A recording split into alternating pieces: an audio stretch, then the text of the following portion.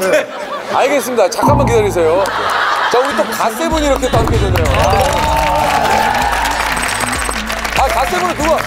제가 왜냐면 또저 우리 후배 가수들이 예. 가수들이 또 이제 승부욕도 많고 아, 그러니까. 그리고 또 이게 스피드 있는 글로벌 친구들이니까. 또 글로벌 하잖아요. 예. 그래서 또 이렇게 섭외를 했죠. 아, 야. 되게 신기한 게 이게 점프 뛰면 미는 거 그거 진짜 멋있던데. 여기서 돼요, 그거? 아, 그러면 위험하다. 형들 막형 잠깐 여기 있어. 내가 이- 여기 있을게요. 이렇게 아, 그 공중에서 미는 거나 깜짝 놀랐거든요. 엎드려야 돼, 그거. 엎드려야 돼. 아, 나 진짜 깜짝 놀랐어. 이렇게, 이렇게. 아, 진짜 나 이거 TV에서 보고 깜짝 놀랐거든요. 아, 이거 진짜 멋있어 근데. 아,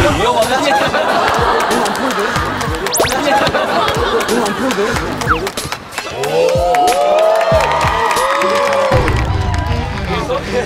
찮은 거예요?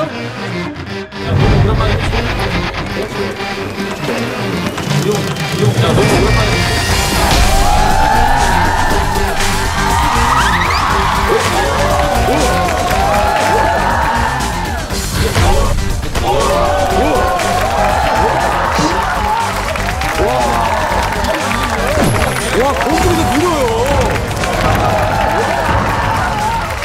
와, 아, 형님 뭐 돼요?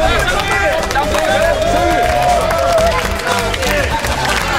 와, 여기 깜짝 놀랐거든, 진짜, TV 보다가. 사람이 많으니까 누가 뭐 하면 와, 이거 공중에서 밀더라고. 화이팅! 와 도는 건가 보다.